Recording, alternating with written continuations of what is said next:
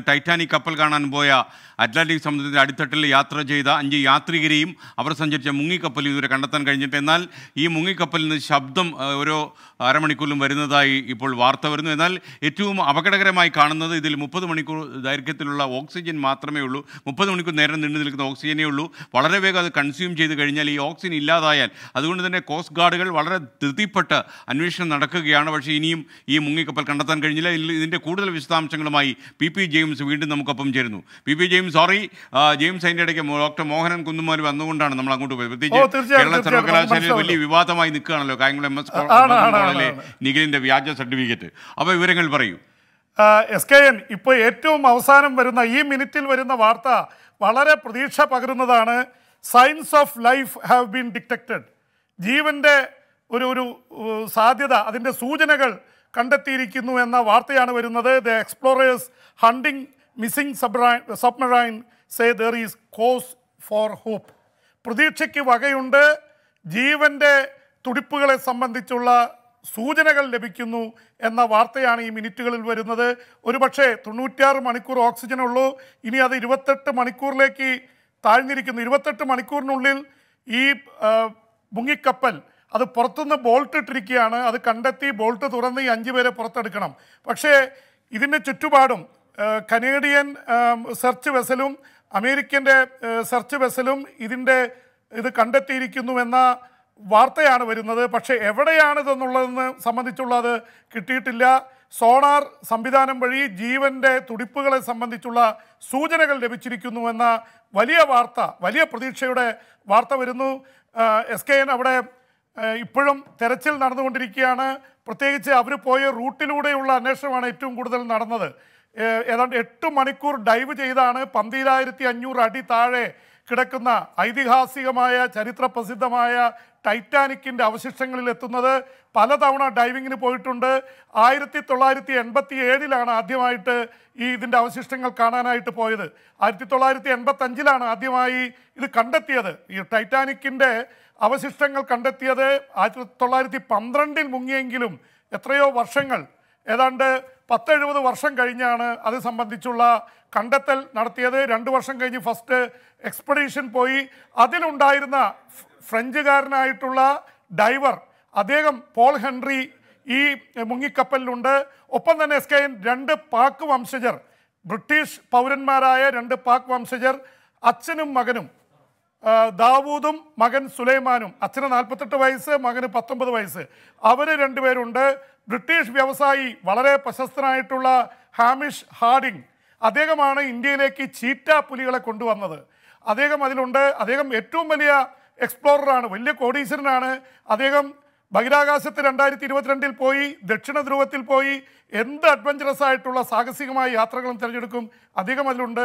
ഇതിനു പുറമെ chief executive ആയിട്ടുള്ള സ്റ്റോക്ക് ഇതിന്റെ ഇതിലുണ്ട് സ്റ്റോക്ക് റഷ് അദ്ദേഹം ഇതിലുണ്ട്. പ്രത്യേകിച്ച് എല്ലാ ഡൈവിങ്ങിലും കൂടെ പോകുന്ന ആളാണ് ഇതിന്റെ ചീഫ് എക്സിക്യൂട്ടീവ് അപ്പോൾ ഇത്രയും പ്രധാനപ്പെട്ട ആൾക്കാരുണ്ട്. ഇവരെ രക്ഷപ്പെടുത്താനുള്ള ശ്രമങ്ങളാണ് നടക്കുന്നത്. അമേരിക്കൻ പ്രസിഡന്റ് ജോ ബൈഡൻ അടക്കം ലോക നേതാക്കളൊക്കെ ഇവർ രക്ഷപ്പെടട്ടെ എന്ന് വലിയ ആശംസകൾ നേർന്നിട്ടുണ്ട്. എന്തായാലും രക്ഷപ്പെടുത്താൻ ഒരു സാധ്യതയുണ്ട് എന്ന തരത്തിലുള്ള വാർത്തകൾ ഈ മണിക്കൂറുകളിൽ വന്നുകൊണ്ടിരിക്കുന്നു.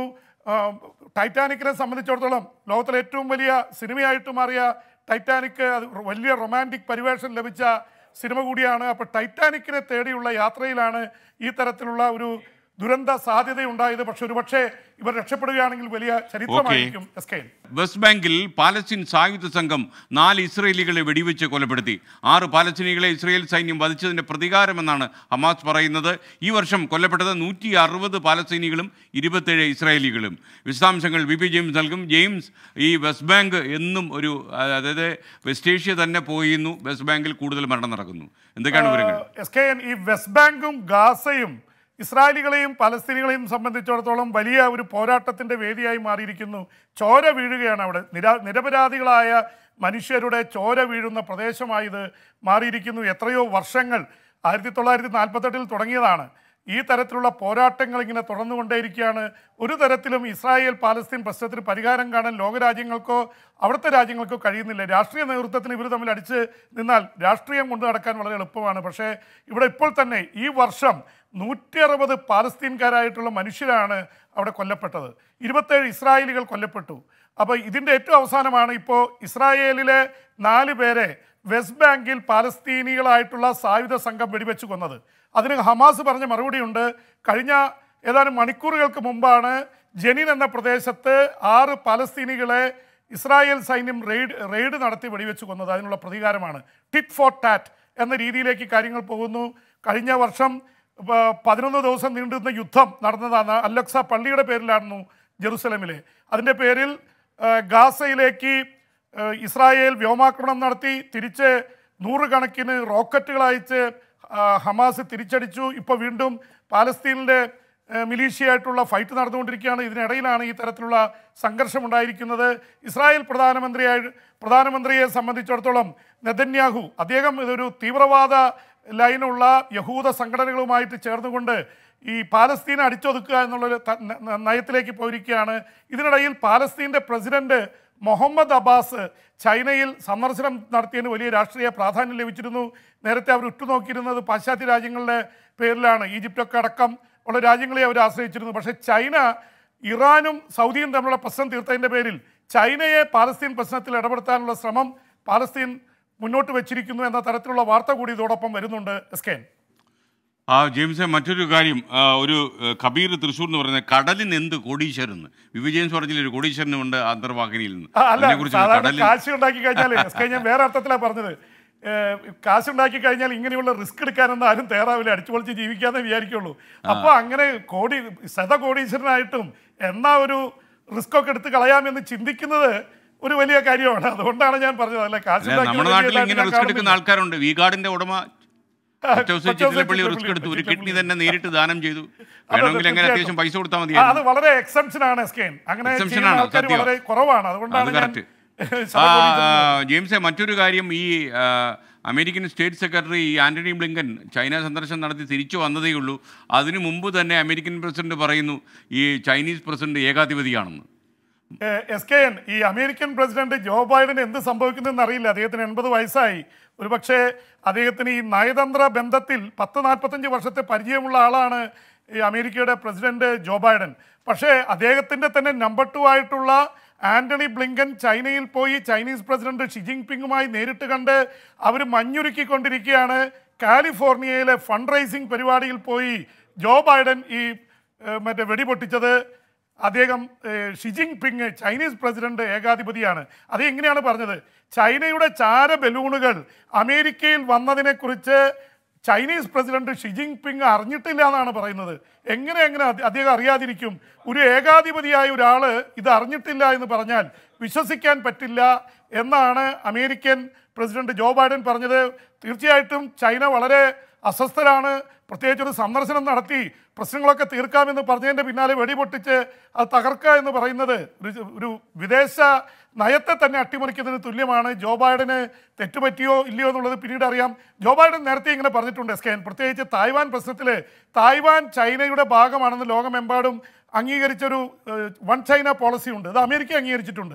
പക്ഷേ അതുകൊണ്ട് ചൈനയുടെയും തായ്വാന്റെയും കാര്യത്തിൽ അമേരിക്ക കൈവിട്ട് പറയാറില്ല. പക്ഷേ ജോ ബൈഡൻ പറഞ്ഞു ചൈന തായ്വാനെ ആക്രമിച്ചാൽ ഞങ്ങൾ ബലം പ്രയോഗിക്കാൻ മടിക്കില്ല എന്ന് അമേരിക്ക പറഞ്ഞു. സാധാരണ അമേരിക്കൻ നയത്തിന് ചേർന്നതല്ല. പിറ്റേ ദിവസം അവർക്ക് തിരുത്തി പറഞ്ഞെങ്കിലും ബൈഡൻ മൂന്ന് തവണ അത് മൂന്ന് തവണയായിട്ടത് പറഞ്ഞു. അതുകൊണ്ട് ബൈഡൻ കൈവിട്ട് ഇങ്ങനെയുള്ള പ്രതികരണങ്ങൾ നടത്തുന്ന ആളാണ്. എന്തായാലും ചൈനയുമായിട്ടുള്ള ബന്ധം കൂടുതൽ വഷളാവാൻ സാധ്യതയുണ്ട്. ഇന്ത്യയെ സംബന്ധിച്ചിടത്തോളം ഇതൊരു ആശ്വാസകരമായ വാർത്തയാണെന്ന് പറയാതിരിക്കാൻ വയ്യ. എസ് കെ ജെയിംസ് ഇത്തിരി ലേറ്റ് ആയെങ്കിലും പെട്ടെന്ന് ഒരു കാര്യം കൂടി ചോദിക്കട്ടെ. ഇപ്പോൾ നമ്മുടെ പ്രധാനമന്ത്രി അമേരിക്കയിലാണ്. മാത്രമല്ല അന്തർദേശീയ തലത്തിൽ അദ്ദേഹത്തിന്റെ സന്ദർശനം വളരെ ശ്രദ്ധിക്കപ്പെടുന്നു. അദ്ദേഹം സ്റ്റേറ്റ് വിസിറ്റിലാണ്. അപ്പോൾ ഒരുപക്ഷെ നമ്മുടെ വിദേശ നയത്തിൽ സുപ്രധാനമായ ഒരു ദിശാമാറ്റം ഉണ്ടാകുന്നു. റഷ്യയോട് കൂടുതൽ അടുക്കുന്ന ഒരു വിദേശ നയത്തിൽ നിന്ന് അമേരിക്കയോട് അടുക്കുന്ന ഒരു വിദേശ നയത്തിലേക്ക് നമ്മൾ മാറുകയാണോ എന്ന് വിദേശ മാധ്യമങ്ങളിൽ സംശയിക്കുന്ന രീതിയിൽ കാര്യങ്ങൾ വരുന്നു. എന്തൊക്കെയാണ് വിവരങ്ങൾ തീർ- തീർച്ചയായിട്ടും എസ് കെ. നമ്മൾ വാങ്ങുന്ന ആയുധങ്ങൾ പ്രത്യേകിച്ച് മിഗ് അടക്കമുള്ള പ്രധാനപ്പെട്ട വിമാനങ്ങൾ അതുപോലെ തന്നെ എസ് ഫോർ ഹൺഡ്രഡ് മിസൈൽ സംവിധാനങ്ങളൊക്കെ റഷ്യയിൽ നിന്നാണ് നമ്മൾ കൂടുതൽ വാങ്ങുന്നത്. കുറച്ച് മിറാഷ അടക്കം റഫേൽ അടക്കമുള്ള വിമാനങ്ങൾ ഫ്രാൻസിൽ നിന്ന് വാങ്ങുന്നുണ്ട് അമേരിക്കയിൽ നിന്ന് ഡ്രോണുകളൊക്കെ വാങ്ങുന്നുണ്ട്. പക്ഷെ അതൊക്കെ വളരെ കുറച്ചാണ്. പക്ഷേ വലിയൊരു ഷിഫ്റ്റ് വരുന്നു. കാരണം ഉക്രൈനി യുദ്ധത്തോടെ റഷ്യയുടെ ആയുധ ശേഖരം അത്ര മികച്ചതല്ല എന്ന് ലോകം അറിഞ്ഞിരിക്കുന്നു. അതുകൊണ്ട് തന്നെ പാശ്ചാത്യ രാജ്യങ്ങളിലേക്ക് നമ്മൾ ആയുധ കച്ചവടം അല്ലെങ്കിൽ ആയുധം നിങ്ങൾ ഏറ്റുവാങ്ങുന്ന തരത്തിലേക്ക് ഫ്രാൻസിൽ നിന്ന് ജർമ്മനിയിൽ നിന്ന് അതുപോലെ തന്നെ അമേരിക്കയിൽ നിന്ന് വലിയ രീതിയിലുള്ള ഡ്രോണുകളും ആയുധങ്ങളും വാങ്ങുന്ന തരത്തിലേക്കൊരു ദിശാമാറ്റം ഉണ്ടാവുന്നു അതുപോലെ തന്നെ ഉക്രൈൻ യുദ്ധത്തിൽ ഇന്ത്യ റഷ്യയെ കൈവിട്ടിട്ടില്ലെങ്കിലും റഷ്യ പരമാധികാരം ഒരു രാജ്യത്തിന്റെ സംരക്ഷിക്കപ്പെടണമെന്ന് ഇന്ത്യയുടെ പ്രധാനമന്ത്രി നരേന്ദ്രമോദി വാൾസ്ട്രീറ്റ് ജേണലിൽ നൽകിയ അഭിമുഖത്തിൽ പറഞ്ഞിട്ടുണ്ട്. അപ്പോൾ അതുകൊണ്ട് തന്നെ ഇന്ത്യയുടെ ഒരു ദിശാമാറ്റം സൂചനകൾ കാണുന്നു. ഇന്ന് ഇന്റർനാഷണൽ യോഗ ഡേയിൽ അദ്ദേഹം പങ്കെടുക്കുന്നുണ്ട്. നാളെ ജോ ബൈഡനുമായിട്ട് ഔദ്യോഗികമായ ചർച്ചയുണ്ട്. യു എസ് കോൺഗ്രസിനെ അഭിസംബോധന ചെയ്യുന്നുണ്ട്. മറ്റന്നാൾ അതിനുശേഷമാണ് കമല ഹാരിസും ആന്റണി ബ്ലിങ്കനുമായി ചർച്ചയുണ്ട്. ഇന്ത്യയും അമേരിക്കയും തമ്മിലുള്ള ബന്ധം കൂടുതൽ അടുക്കുന്നതിന്റെ സൂചനകളാണ് കാണുന്നത്. ആ തരത്തിൽ തന്നെ കാര്യങ്ങൾ മുന്നോട്ട് പോയാൽ ഇന്ത്യ ഒരു ഷിഫ്റ്റിലേക്ക് വരും. ഇപ്പോൾ തന്നെ ഇന്ത്യ ക്വാഡ് സഖ്യത്തിൽ അംഗമാണ്. America Japan Australia India. അത് തന്നെ ഒരു ഷിഫ്റ്റായിരുന്നു അപ്പോൾ റഷ്യയോട് കൂടുതൽ ആശ്രയിക്കുന്ന അവസ്ഥയിൽ നിന്ന് അമേരിക്ക അടങ്ങുന്ന പാശ്ചാത്യ രാജ്യങ്ങളെ കൂടി സ്വീകരിക്കുന്ന ഇസ്രായേലിനെ ഒപ്പത്തെ ഇപ്പോൾ ഒപ്പം നിർത്തുന്നുണ്ട്. ആ തരത്തിലേക്ക് ഇന്ത്യ ഒരു ചുവടുമാറ്റം നടത്തുന്നു എന്നാണ് മനസ്സിലാവുന്നത്. പ്രത്യേകിച്ച് ചൈനയാണ് ഇതിന് പ്രധാന കാരണം. ചൈന ഇന്ത്യയുടെ അതിർത്തിയിൽ മൂവായിരത്തി മുന്നൂറ്റി നാൽപ്പത്തെട്ട് കിലോമീറ്ററിൽ നിറഞ്ഞു നിൽക്കുകയാണ്. ചൈനയെ നേരിടാൻ അമേരിക്കയുടെ പിന്തുണ ഇന്ത്യയ്ക്ക് ആവശ്യമാണ്. അത് മാത്രമല്ല എസ് കെ എൻ റഷ്യയുടെ യുദ്ധത്തോടെ റഷ്യ ഉക്രൈൻ യുദ്ധത്തോടെ അതിനെ ഏറ്റവും ശക്തമായി പിന്തുണയ്ക്കുന്നത് ചൈനയാണ്. റഷ്യയും ചൈനയുമായുള്ള അച്ചുതണ്ട് ശക്തമാവുന്നത് ഇന്ത്യയ്ക്ക് ഒട്ടും ഗുണകരമല്ല. ഒരു പ്രശ്നം വന്നാൽ ഇന്ത്യ ചൈന യുദ്ധമുണ്ടായാൽ റഷ്യക്ക് ചൈനയോടൊപ്പം നിൽക്കേണ്ടി വരുമോ അല്ലെങ്കിൽ ഒരുപക്ഷെ ന്യൂട്രൽ അവസ്ഥയിൽ നിൽക്കുമോ എന്നുള്ള കാര്യത്തിൽ സംശയമുണ്ട്. അതുകൊണ്ട് കൂടിയാണ് അമേരിക്കയിലേക്കുള്ളൊരു നയം മാറ്റം ഇന്ത്യ കൊണ്ടുവരുന്നത് എന്നാണ്. എന്ന് മാത്രമല്ല ചൈനയും ഇന്ത്യയുടെ അതിർത്തിയിൽ വരുന്നത് അമേരിക്കയുമായിട്ട് ഇന്ത്യ അടുക്കുന്നത് ഒരു തരത്തിലും ചൈനയ്ക്ക് സഹിക്കാൻ പറ്റുന്നില്ല. ചൈന അമ്പത് വർഷത്തെ ട്രേഡ് നടത്തി വലിയ നേട്ടങ്ങൾ ഉണ്ടാക്കിയത് അമേരിക്കയും പാശ്ചാത്യ രാജ്യങ്ങളെയും കൂട്ടുപിടിച്ച് തന്നെയാണ്. അത് ഇന്ത്യയിലേക്ക് ഷിഫ്റ്റ് ചെയ്യുമോ എന്നുള്ള പേടിയുണ്ട്. ഇതൊക്കെയാണ് ഈ തരത്തിൽ മാറ്റങ്ങൾക്ക് കാരണമായിരിക്കുന്നത്. Skein okay thank you V James